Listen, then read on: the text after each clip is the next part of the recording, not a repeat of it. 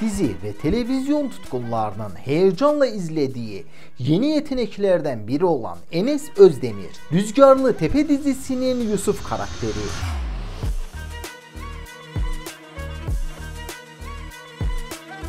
Sevgili arkadaşlar, bu dizi yayınlandığı andan itibaren ilgi çekmeye başladı. Bunun sonucunda da izleyiciler dizinin sadece ana karakterlerini değil, diğer oyuncularının da kim olduğunu merak etmeye başladı. Böylece dizinin en çok merak edilen oyuncularından biri de Yusuf karakterine hayat veren Enes Özdemir oldu.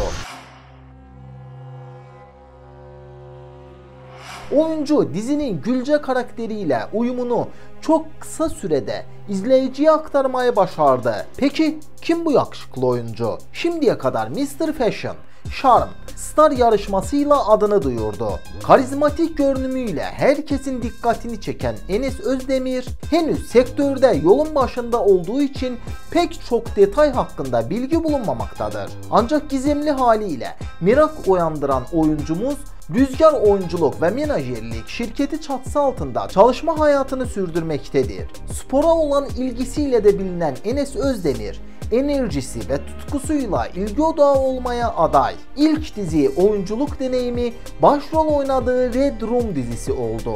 İkinci dizisi Kanal 7'de yayınlanan Rüzgarlı Tepe'dir. Peki bakalım uzun boyu, düzgün fiziği ve yakışıklılığıyla dikkat çeken başarılı isim kaç yaşında? Boyu, kilosu, kız arkadaşı kim? Doğum tarihi aslen nereli?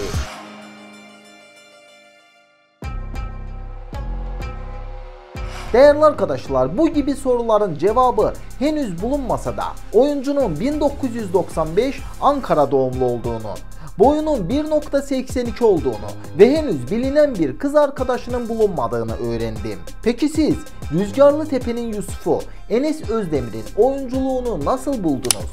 Düşüncelerinizi yorumlara yazmayı ve videomuzu beğenerek kanalımıza abone olmayı unutmayın.